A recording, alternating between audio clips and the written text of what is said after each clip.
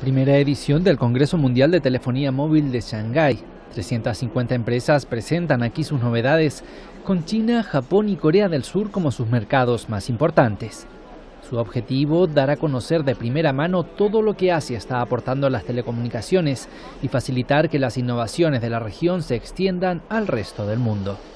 Aquí no hay grandes presentaciones de nuevos modelos ni acuden gigantes como Apple o Samsung.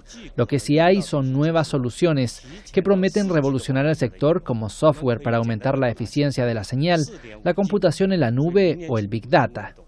Entre los ejes de la feria, la transición a la tecnología 5G, que según los expertos supondrá una revolución que se comercializará desde 2020 en Japón y Corea con los Juegos Olímpicos de Tokio.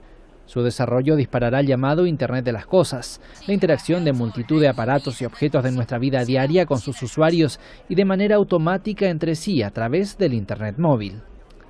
Avances que también se dejan ver en una feria que amenaza con convertirse en una de las citas claves de la telefonía móvil, que genera en Asia el 60% de los ingresos mundiales del sector.